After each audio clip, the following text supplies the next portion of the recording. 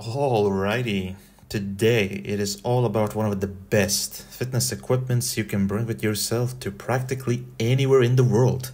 Its flexibility in the way you can replicate most gym exercises is unparalleled compared to a lot of other carryable equipment, so to speak.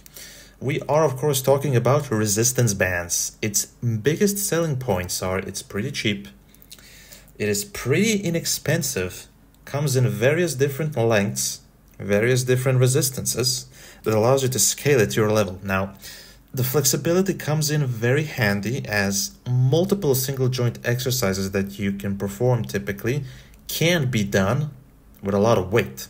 We're talking about exercises such as lateral raises, rear delt flies, bicep curls, tricep pushdowns, and other exercises that include the smaller muscle groups. They're relatively small in nature and thus can be carried in just about any small sized backpack. The great thing that also comes into play is its ability to also upscale the difficulty of your exercises.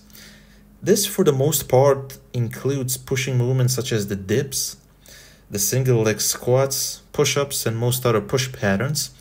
And likewise, flipping the switch, even though it can be used as effectively to downscale these moves to your level, it can still be used to do it on pulling exercises, such as the pull up, for example, the muscle up, inverted bodyweight rows, and whatnot.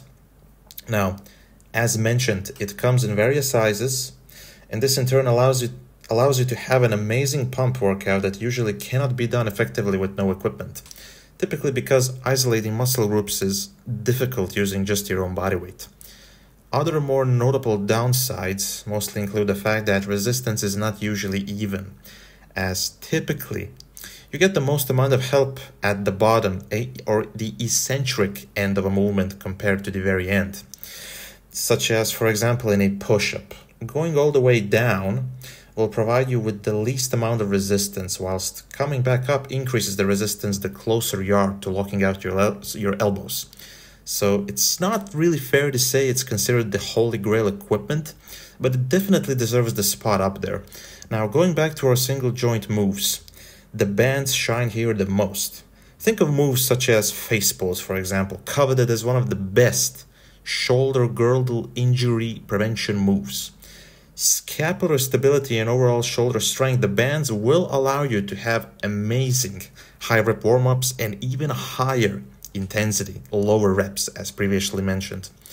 They can also transcend typical weightlifting move patterns and can be used for exercises beyond.